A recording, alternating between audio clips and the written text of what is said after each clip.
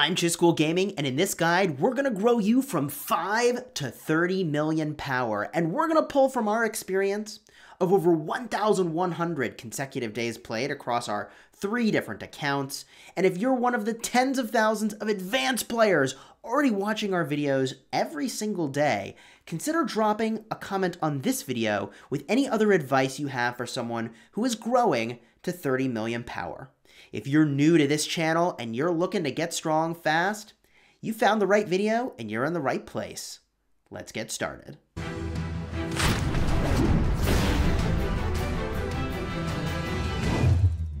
In this video, we're going to cover the following topics as we grow you to 30 million power. These include swapping civilizations so that you grow faster, commanders, and what your commander profile should look like by the time you hit 30 million power, city upgrades, certain orders and tricks as you're upgrading your city, as well as things you're going to need.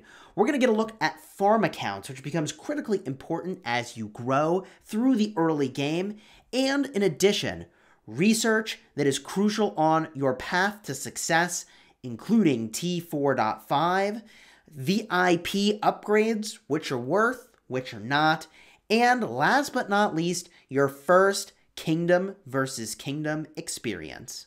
If you like Rise of Kingdoms guides that help you get value and smash your enemies, consider subscribing for daily Rise of Kingdoms videos. And let's start with our first topic. If you saw my last comprehensive beginner's guide, you know that I think most people are overthinking their civilization. We're going to spend only a little bit of time on this now, because as you're going to 30 million power, there are some things you could consider doing with your civilization, and I'm going to advocate that the thing you want to focus on is a civilization that helps you grow toward T5. Now, look, we've got a very comprehensive guide that covers civilization swaps, so I'm just going to highlight a few here that I think could be helpful on your journey toward T5. Germany is one of those civilizations, sort of, because it's going to give you the ability to train more troops, which is really powerful, and action point recovery, so you can get a lot of free value battling barbarians on the map. I think it is a solid choice. Another solid choice would be Spain. You're going to need a lot of resources, and Spain is going to help you with your resource production. They're also not really going to help you per se on your way to T5 troops and growing to 30 million power beyond the extra resources, but I do like the extra experience you will gain in leveling up your commanders. This is something that will be good early, but in the late game will lose a lot of its value. Continuing on, I think that China is an interesting idea for a starting civilization, and if you've already chosen it, stick with it until you've done most of your buildings to their max level. I do also really like the action point recovery. I think Japan is a pretty solid choice on your way to T5 for the gathering speed if you are very vigilant about sending out your gatherers constantly. Otherwise, ignore it. And the last one that I want to call your attention to as a reasonable choice on your way to 30 million power and T5 is Korea. Now, Korea, I think, is a trap civilization. I think a lot of people choose this because they want the research speed and they want to get to T5 faster, not realizing that it takes thousands of days worth of speed ups in order to get to T5. Yes, thousands upon thousands of days. So if you're just slowly working your way toward T5, Korea is not a very good choice because you're losing the opportunity to get tons of value from things like having your action point recovery over time or having your uh, resource production and exp gain over time. Korea is the sort of civilization that a big spender switches to.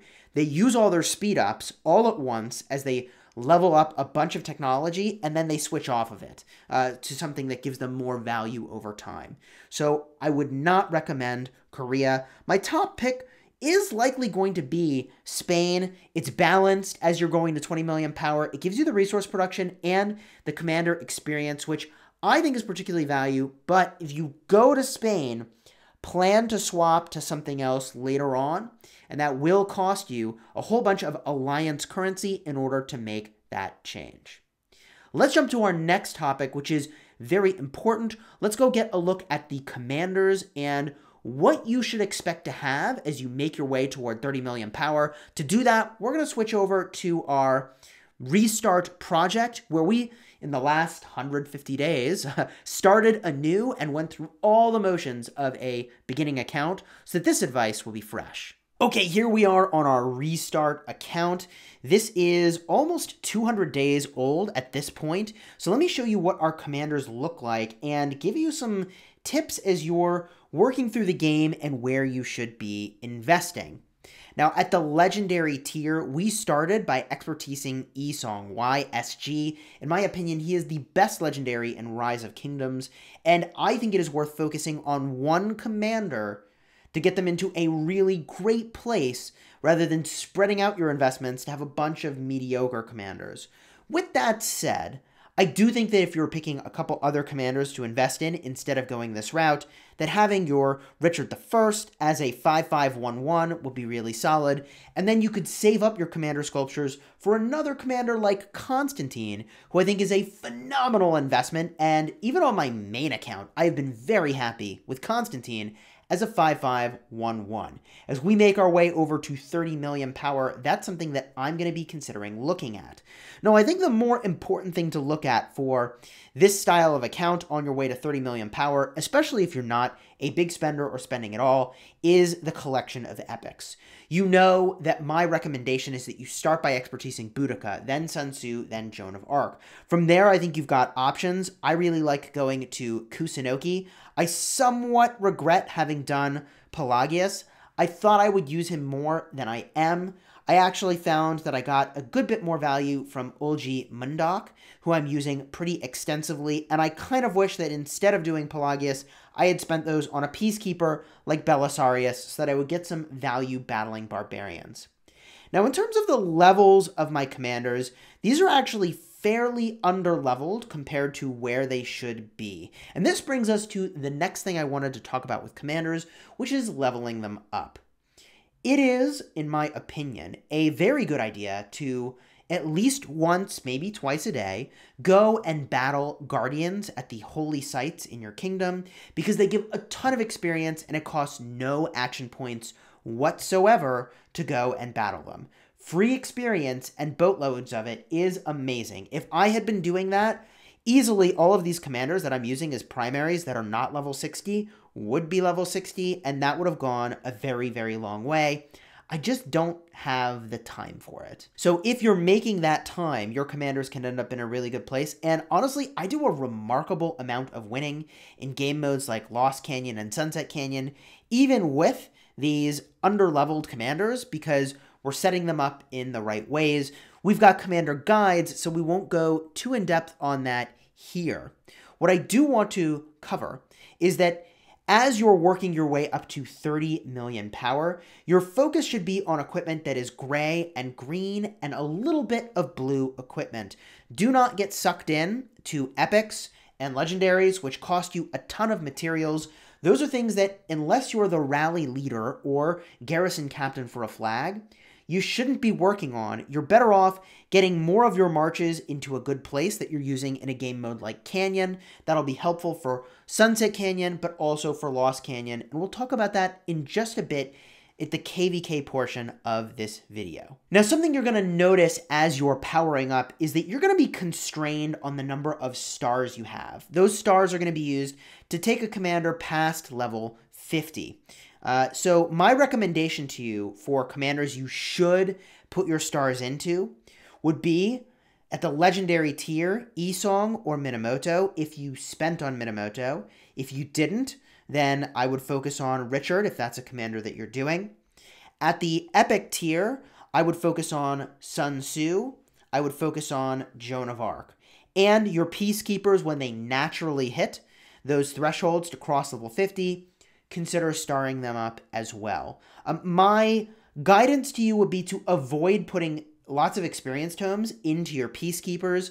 The reason I recommend against doing that is that eventually your peacekeepers are all going to be level 60 and it might take a little bit of time, but you'll get there. And after that point, every time you battle a barb on the map, that experience is wasted. So leveling your way up to 20 with experience tomes makes sense. You can bring a secondary commander.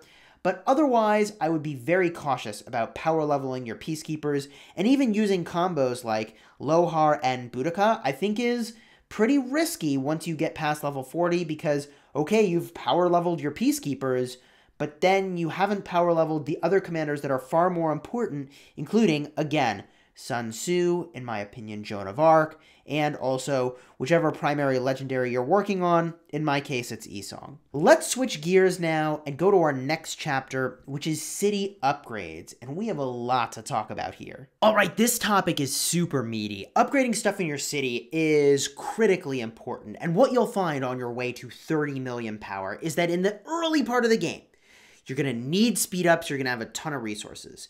Then, in this phase of the game, you're going to need resources really badly, and you're going to have more than enough speed ups to kind of do what you need to do. And then in the next part of the game, after 30 million power, you're going to be out of speed ups and really wishing you had more of them, and you're going to have way more than enough resources than you know what to do with. Spoiler alert, you're going to use those for war. So with that said, I want to talk a little bit about what you're working toward in your city. And that key building is going to be both City Hall 25 and then Academy 25. When you get to City Hall 25, you'll have unlocked the full number of marches at that point, the max number of troops contained within a march, which is very powerful, but also the ability to level up all of the other buildings in your city to 25 as well. Of note, is going to be the Academy. And the reason is that when you take your Academy to level 25, not only do you make available to you the highest tiers of research in the game, but also you make available to yourself a solid 7% research speed boost.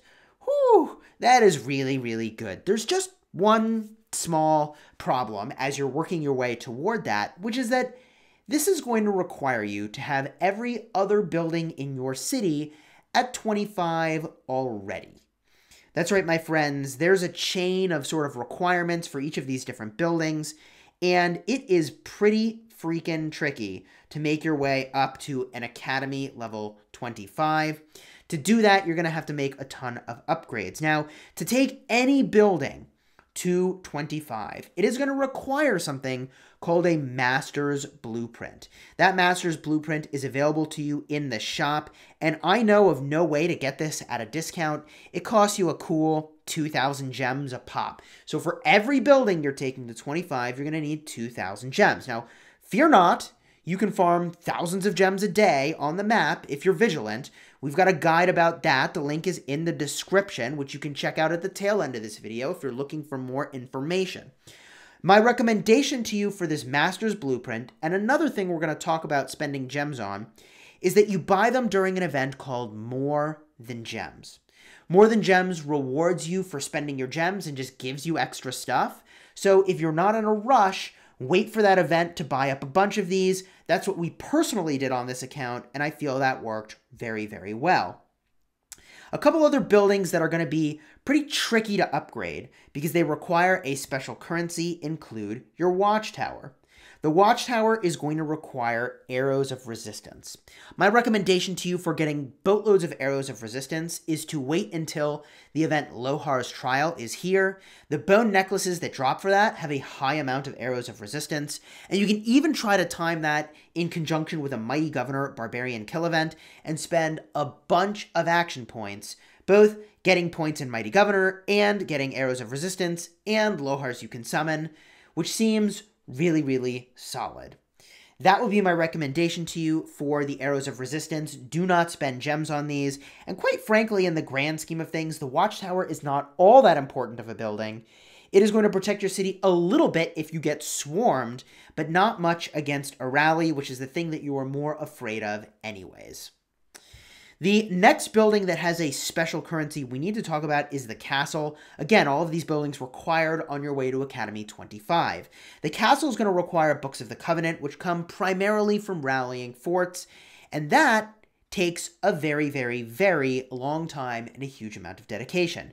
Many people end up spending gems on these, myself included, and if you are spending gems on these, do it during a More Than Gems so you get rewarded big time for having done that. I believe the last two levels require 3,000 and 5,000 Books of the Covenant, respectively, which are very, very expensive, um, but that will max out your rally capacity, which is a nice benefit, and it is crucial that you do get to Academy 25. There's one other thing you should be thinking about with regard to these Books of the Covenant, and we'll cover this a bit more in the VIP portion of this guide.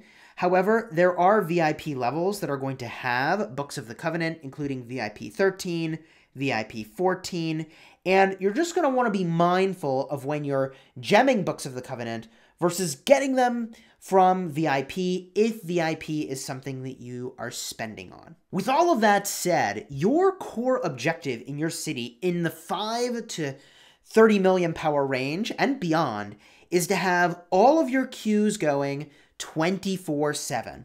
That's right, I want you training troops around the clock. Before you go to bed, you train your troops. When you wake up in the morning, you train more troops until they're high enough that you have T4 troops and these are high enough level that you can train enough troops that you need to only check in on that maybe once a day. My recommendation is you always have research going and you always have at least one building being built at a time. And the exception to that will be after City Hall 25. You're going to find you're going to have a hard time pulling in the resources to keep those buildings going at all times. Of course, one other currency you need to be spending down constantly is your action points, with the intention of saving up your action point potions for special moments that reward you extra for doing things that you wanted to be doing anyways. Now, one of the most common questions as you're powering up is should you be upgrading your lower tiers of troops or training new ones? This is an important topic and it ties into an important idea, which is you always want to make your city look unattractive to hit. If you have lots of resources and you have lots of low tier troops, you look like a really good city to hit because people are going to get a lot of points for Mighty Governor. They're going to steal a lot of resources, and you don't want to look like that juicy target. But the reality is as you're working your way past 10, 15, 20 million power, you're always going to have way more resources than your storehouse will be able to hold securely for you. So in order to make yourself look like a less attractive target, upgrade your troops instead of training new. That's right, upgrade all of your lower tier troops to the highest tier. The only exception might be siege units because the lower tiers move faster and some people prefer that. But I like to upgrade everything from whatever tier it is to T4. That way, you don't have a bunch of troops and run the risk also of overflowing your hospital. This is a really phenomenal building that is very expensive to upgrade. The capacity of it will double in Kingdom versus Kingdom, which is good.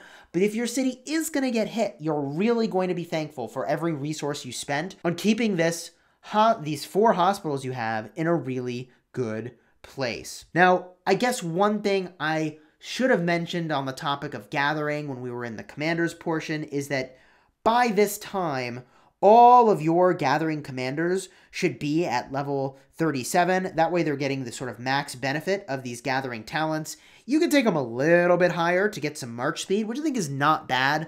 I don't have the experience tomes for that, but if you're being really good about battling the Holy Site Guardians on the map? Maybe you will. But there is one other very important solution to gaining lots of resources for your main account, and that is something called a farm account, which is our next topic. Okay, we just switched over to our farm account, and we're going to give you a high level overview of things you should be thinking about with your farm account so that you can set one up quickly and start using it.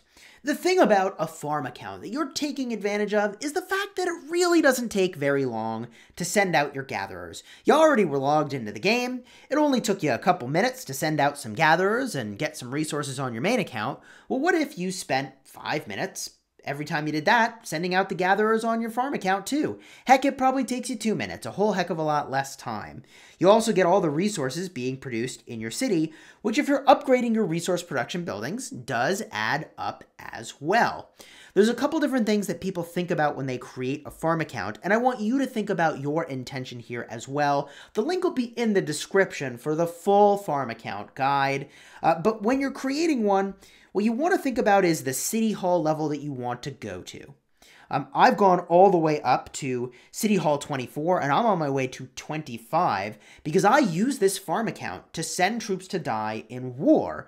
I don't really care about these troops on my farm account, so this seems like a pretty good way to contribute to a war effort without losing troops that I care about more. With that said, the core consideration here should be the number of dispatch queues that you get. The more queues you have, the more troops you can send out to farm or more marches you can send out to farm at a time.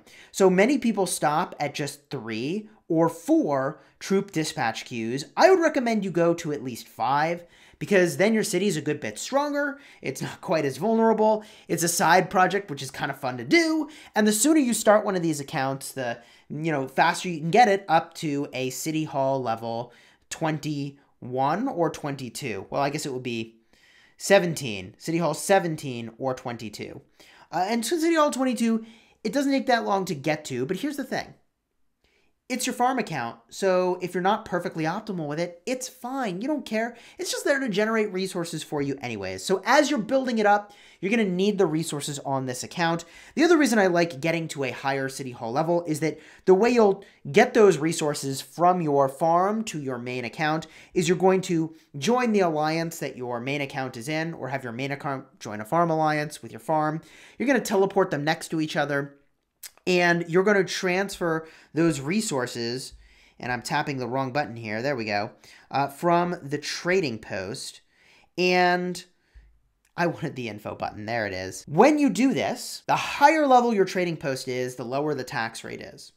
So I think the advantage of being a higher city hall level is not only can you make your city much more defensible, um, can you make it advantageous to have a lot of troops that you can dump into flags and all that sort of good stuff. Um, but you also get a lower tax rate when you transfer those resources, which over time will add up. So I would encourage you to get to at least City Hall 22 for the five marches, and then you can also take your trading post to a higher level as well. Overall, you're not too concerned about your commander profile on a farm account.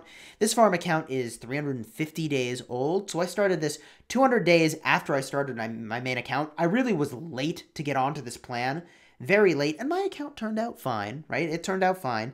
Um, but the most important investment in this account is going to be your gathering commanders, and your other commanders are really just there to get you to a point where you can level up your gathering commanders, right? Like you're going to need a Boudica and a couple other peacekeepers to get those gathering commanders leveled up. The other thing I like to do is have a very, very high level wall, uh, a really primary commander on your wall. So I've got a, you know, level 60 Sun Tzu. And at this point, just from opening gold keys, I think that my Charles Martel, yes, 5511, you know, it's 350 days old. Counts really, really old. You get to a pretty good place you too can have a Charles Martel 350 day old account that looks like this with a pretty low effort. Okay. So that I think would be a solid recommendation to you for a farm account with the intention of generating those resources by going out on the map and from your production buildings in order to transfer them to your main account to deal with that absolutely crucial resource crunch in your grind to 30 million power but then also for waging war, you'll definitely want tons of resources because you're going to need them to heal your T4 or your T5, but that's for a later guide. Let's go to our next topic, which is going to be research. Here we are, still on the farm account, if you can believe it, and we've invested way more in research than most people do. Uh, the way that I see this is that over time, I'm just accumulating a ton of free speed ups as I'm leveling stuff up that I, you know, maybe one day I make this a main account. I take it to a young kingdom and have a lot of fun with that. But look, here's where you should be investing your research. And I want to highlight in the military technology something very important. As you make your way up toward the T4 troops, you're going to unlock these T4, hopefully before you hit 5 million power. But then as you're making way up, when you hit City Hall 23, you're going to have the opportunity to unlock all this good stuff over here. And City Hall 24, all this good stuff over here. Uh, if you also level up your academy. And the thing that is so awesome about that is I call this tier 4.5. You gain so much combat effectiveness just from a very, very low amount of resources and time in these technologies over here. Um, how much do you gain? Uh, this is giving me currently at level 6, I've got 7%, which is pretty solid. That's 7% attack, and I've got that for my infantry, my archers, my cavalry. Siege units I'm less concerned about. Um, I also really like these technologies over here. Small amount of speed ups initially gives you a huge amount of stat boots. For instance, combined arms. I mean, look at this. I could spend seven days and get 2% attack for every troop type I have. That's so much power gain for very little effort, especially when you compare to combat tactics, defensive formation, and herbal medicine, which these are things that, like, look, look, look at that, 50 days to work on this. I'm going to recommend that you work on these after 30 million power, okay?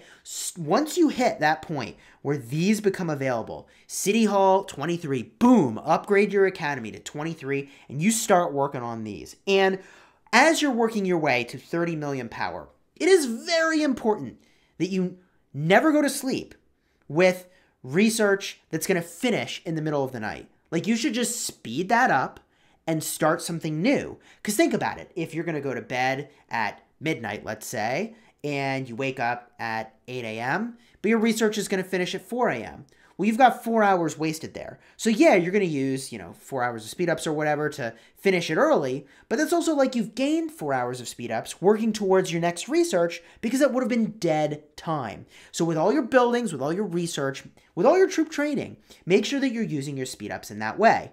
Now, I also want to emphasize that Many players focus on their military technology, but in a perfect world, I would encourage you to work on your engineering and mathematics, maxing those out as early as you can. It's going to take a huge amount of resources, but if you can do that early, you get a huge boost here 15% uh, research speed is game changing. In addition, the building speed, we don't have the max. If it was, you know, 35% at max, it's pretty game changing. So I would encourage you to get those if you can before making some of your other major upgrades um, in your city, both for buildings and also, you know, get those upgrades as high as you can before you start doing some of these things like combat tactics and defensive formation, which are going to be really, really high numbers of days of research. This is the time when uh, you probably in your kingdom have captured the lost temple, and when you get to these things that are going to cost a lot of days of speed ups to work on, you want to make sure that you've got a rune from the map, optimally 15% from the Lost Temple, that you have a kingdom title to give you 10% extra research speed, and that you also have a kingdom buff potentially going offering you an additional 10% research speed. For these things that are costing you, you know, dozens upon dozens of days of speed ups in order to finish them, yeah, you're going to want to get those really high level before you start working on the expensive stuff. So don't make this mistake on your way to 30 million power, focusing on, you know, maxing out herbal medicine when you could gain way more power in other places in the academy. Let's jump to our next topic, which is going to be VIP. All right, let's talk about VIP. And I'm not going to spend a lot of time talking about the special privilege chest. I want to focus on the everyday value. The most common question I get about VIP is Should I use my gems? And there are some breakpoints here. At VIP level 10, you start getting a gold key and a legendary commander sculpture every day. Crucial. You also get some extra training speed and building speed. Very important. At VIP 12, you're getting another Legendary Commander Sculpture every single day, making it two a day, which is really, really solid. And at VIP 14, you're now getting three Legendary Commander Sculptures every single day. Now, most of you on your way to 30 million power are looking at this VIP 10 breakpoint. Should I spend gems or not? And that depends on how many VIP points you get a day from Alliance chests.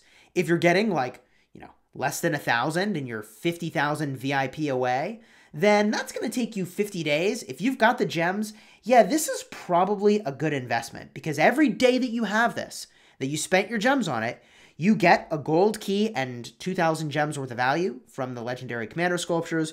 Plus, you get the building speed and the training speed. Very, very solid. Those speed ups are worthwhile too.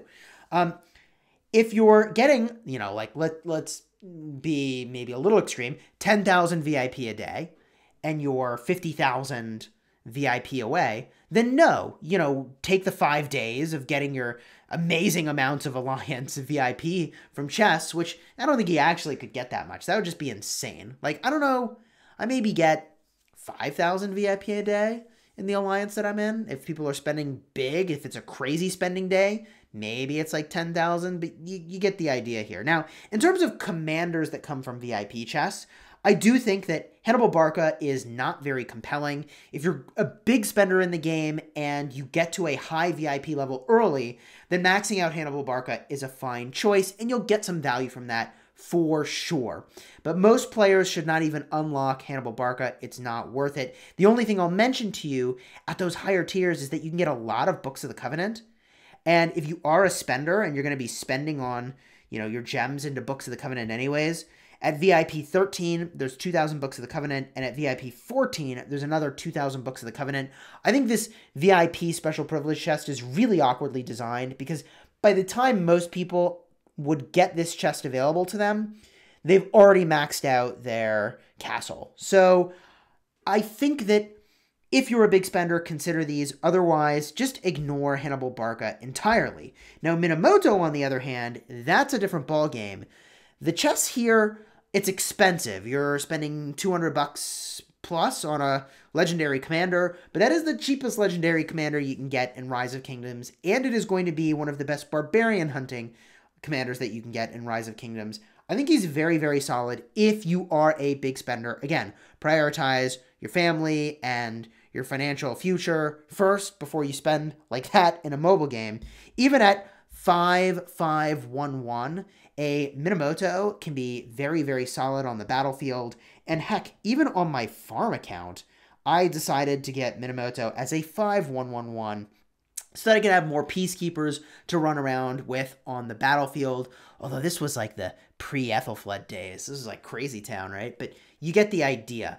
I think that having Minamoto can be pretty solid, and I think that generally the VIP special privilege chefs are pretty decent, but we've got a full video that covers this link in the description for both Hannibal Barca and also for Minamoto from VIP.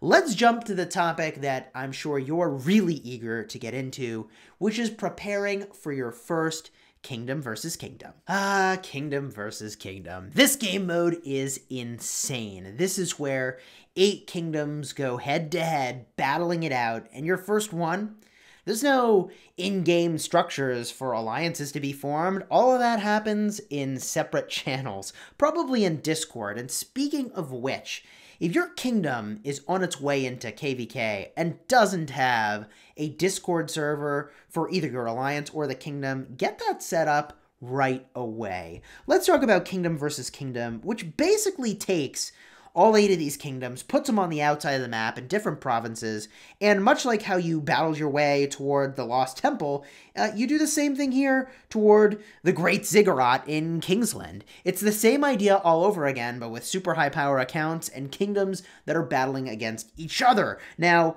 look, the rewards for Kingdom versus Kingdom change based on the season, and there's a bunch of events here that we need to talk about. One of them is rebuilding your Crusader fort. We'll get to that in a second. What I meant to show you is in the Crusader achievements.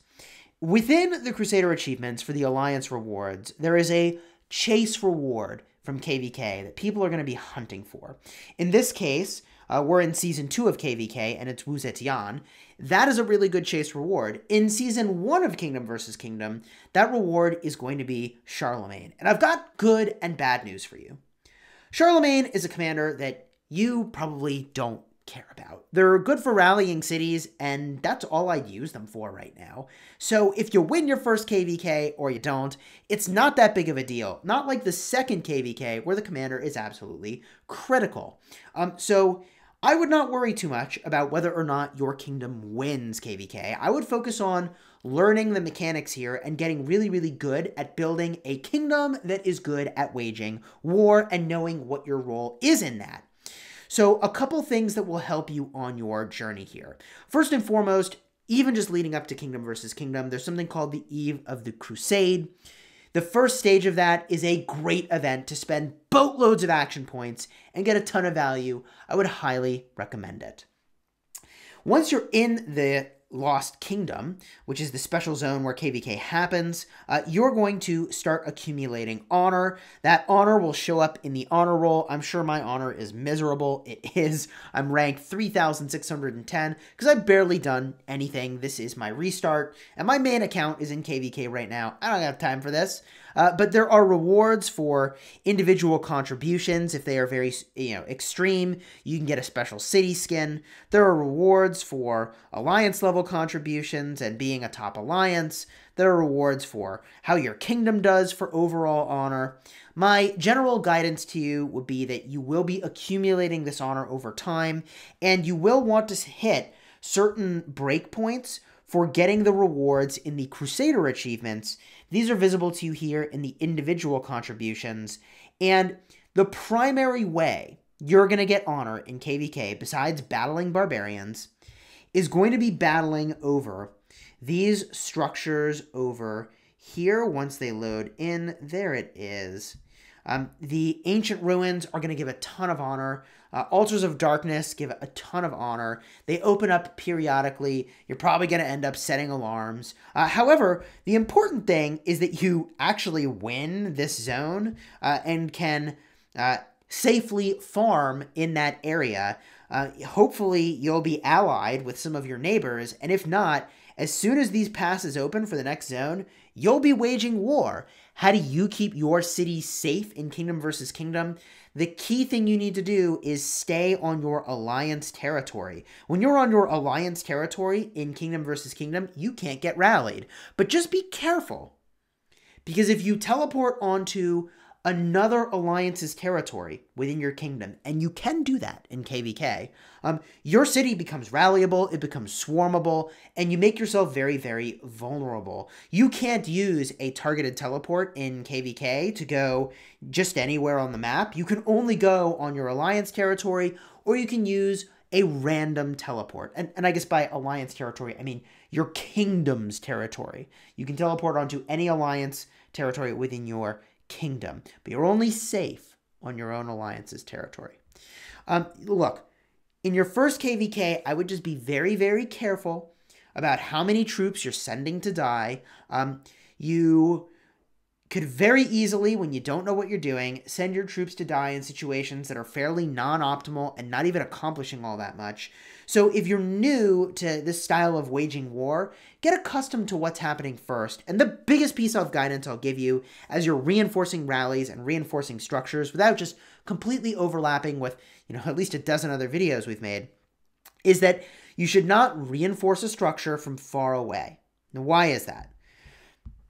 If I reinforce a flag, let's say, or let's say this fort was getting rallied, okay?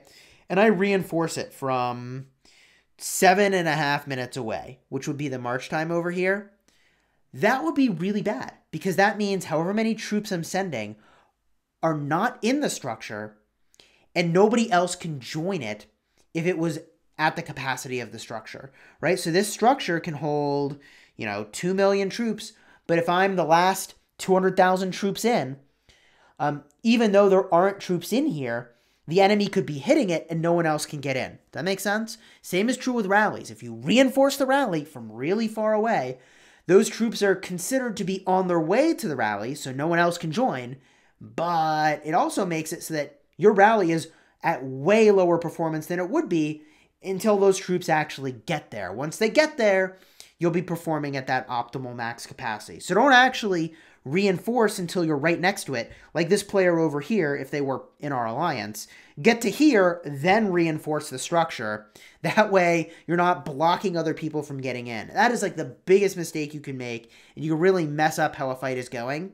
If you're reinforcing from some eternally far distance, you're blocking your alliance members from getting in there and having the maximum sort of number of troops in there at any moment in time to fight. My overall guidance for your first KVK, again, is to take it easy. The reward is honestly not all that amazing. Learn how stuff works, get close to your alliance members, and this is why in our kingdom, I would recommend you take a similar stance.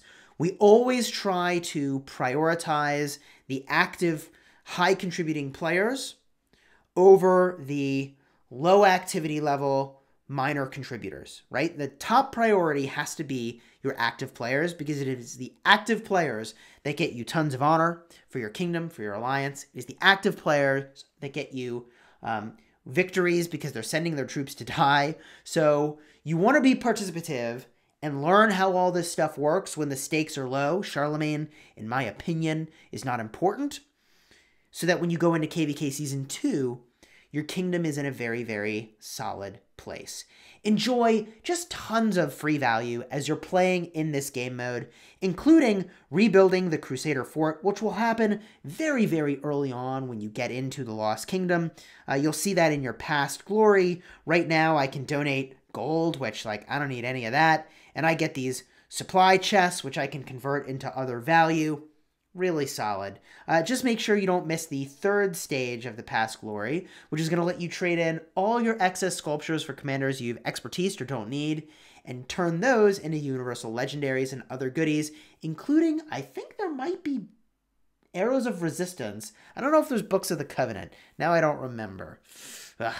All right, friends. Hopefully, you've enjoyed this comprehensive guide, taking you from 5 to 30 million power, including some overview for your first kingdom versus kingdom. Are there any other topics that you wish we'd covered or things that needed to be in here that we didn't talk about? If so, let me know down below in the comments. And in the description of this video, there are going to be dozens of links to playlists and individual videos that will help you out on your journey to 30 million power. I am so eager to hear how that goes. Consider dropping a like on this video if you found it at all helpful. That helps out the channel a ton, which I greatly appreciate. Consider subscribing for daily Rise of Kingdoms content that is just like this, helping you get value and smash your enemies. And until next time, my friends, you have fun smashing the kingdom.